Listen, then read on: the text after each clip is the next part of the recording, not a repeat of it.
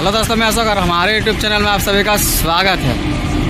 तो देख सकते हैं इधर साधन बाबू है इधर राम है।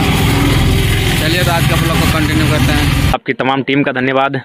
लगातार आप दो तीन महीना से आप आंदोलन कर रहे हैं जगह जगह भाषण दे रहे थे। आज शादी घर में घूम भी रहे हैं। शादी का क्या इरादा है दादा?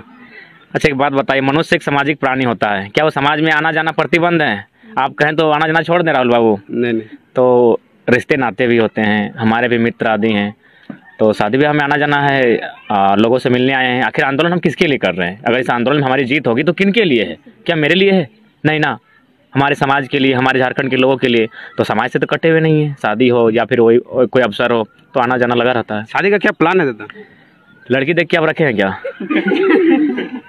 फ़िलहाल शादी का प्लान नहीं है इसलिए क्योंकि मान के चलिए बुरा समय अभी क्रांति में बीत रहा है। कोई रात ऐसा नहीं है कि डेढ़ दो बजे घर एंट्री होती है। आप देख सकते हैं, अभी लाइव भी आते हैं तो दो बजे रात को आते हैं। तो मैंने डेढ़ बजे, दो बजे घर आना, ऐसी परिस्थिति में विवाह के बारे में सोचना शायद किसी के साथ नाइंसाफ़ी होगी, यानी समय नहीं मिल पाता है। तो फ़िलहाल अभी पूरी तरह से झारखंड आंदोलन के बारे में सोच रहे हैं। झारखंड के लोगों को हक, अधिकार कैसे मिले, इस पर बात करेंगे। पंचायत चुनाव का घोषणा हो गया। आप पहले बोले थे कि हम पंचायत चुनाव में जिला परिषद का तैयारी, चुनाव लड़ेंगे, लेकिन अभी तक आप कुछ बोले नहीं। इसका मतलब है चौबीस का तैयारी कर रहे हैं।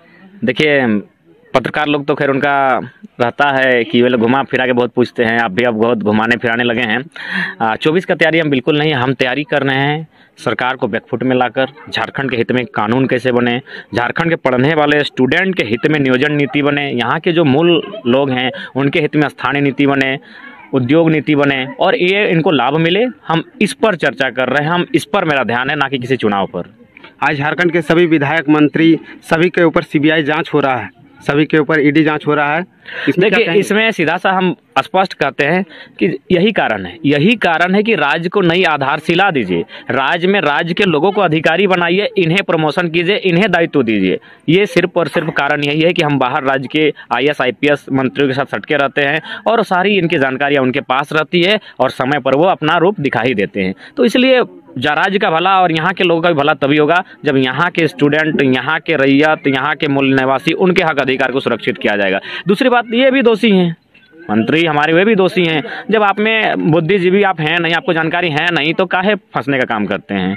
तो इसके लिए केंद्र भी दोषी है कि केंद्र में जो है, केंद्र की जो भी प्लानिंग चल रही है, वह अपनी सरकार बनाने के लिए किसी भी हद तक जा सकती है। तो दोषी दोनों है। केंद्र की सरकार तो खैर वे तिगड़मबाज है लेकिन राज्य की सरकार जो अपने उन शहरों को चुना है क्यों मंत्री पद के लिए? जो लोग दागी हैं जो लोग आने वाले दिन फंस सकते हैं तो आप लोग भी कहीं ना कहीं दोषी हैं। आपके भाषण से कुछ लोग कहते हैं कि ये लेनिन और मार्क्स के विचारों पर चलते हैं। कुछ लोग कहते हैं कि लाल झंडे के विचारधारा से टाइगर जयराम महतो चलते हैं। देखिए हम कम्बिनेशन है। हम सबकी विचारधारा की बात करते हैं। हम कहीं आक्रमक है कहीं शांतिप्रिय हैं कहीं अम्बेडकरवादी हैं कहीं बुद्धवादी हैं कहीं आज़ाद को मानते हैं कहीं भगत सिंह को मानते हैं तो कहीं हर तरह से कम्बिनेशन है क्योंकि हम यूथ हैं, चारों तरफ़ से घूमते हैं, चारों तरफ़ की बातों को रखते हैं, क्योंकि मेरा मकसद ये कि सभी लोगों को अधिकार मिले। हम तो एक व्यक्ति की बात नहीं करते हैं, सभी का अपना अपना राज्य है, उनके राज्यों में अभी मान के चले हम लोग इतनी भीड़ है, इतने लोग हम लोग हैं। कि हम लोग सभी उठ के अगर बंगाल चले जाएँगे तो क्या हमें बंगाली गिना जाएगा?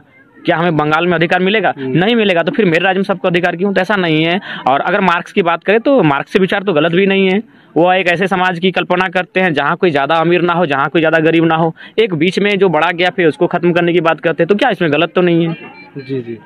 गीता श्री उराव आप पे प्रतिक्रिया देती है, उनके ऊपर क्या कुछ कहेंगे? देखिए, पहला बात तो एक स्त्री, हम स्त्री का सम्मान करते हैं, लेकिन उनकी टिप्पणी को उन्हीं के उत्तर के साथ हम तर्क से खारिज करना चाहेंगे। पहला बात है, जिस मीटिंग में गीता दी बयान देती हैं, उस मीटिंग में मुझे ही बुलावा था।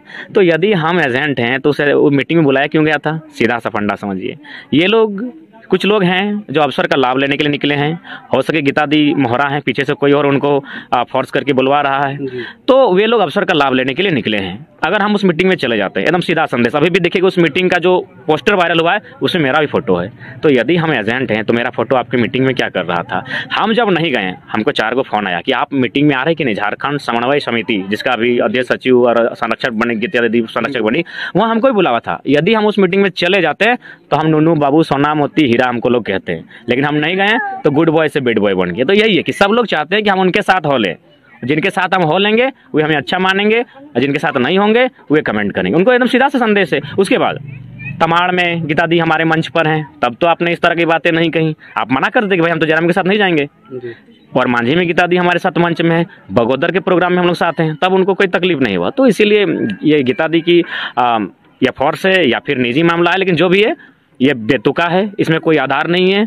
और ये सिर्फ़ और सिर्फ़ एक दिग्भ्रमित करने का प्रयास है क्योंकि ये आंदोलन स्टूडेंट का है ज, जनता जागरूक हो रही है और कहीं ना कहीं तमाम जो पॉलिटिकल पर्सन पॉलिटिकल चेहरे रहे हैं जिन्होंने अब तक झारखंड में रूल किया है उनके पाँव खिसकने का कार्य हुआ है। और दूसरी बात गीता ये जो मामला आया सामने ये मामला उस समय आया जब मेरा एक साथी जो मेरे साथ रहता है उसका फ़ोटो वायरल किया गया कि ये ढुल्लू और जब भी हमने बाबूलाल मांडी के साथ है जो कि अगर आपका लाइट है तो हम थोड़ा प्रेजेंट करना चाहेंगे कुछ फ़ोटो देख ही लीजिए।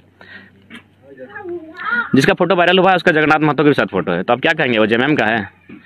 एक यूथ होता है। आपके गाँव में अगर बहुत सारे बच्चे आए हैं तो फ़ोटो खिंचाने की ख्वाहिश सबकी होती है कि कोई अगर लीडर आया, अभी रुक जाइए, अभी बहुत सारी चीज़ दिखा रहे हैं।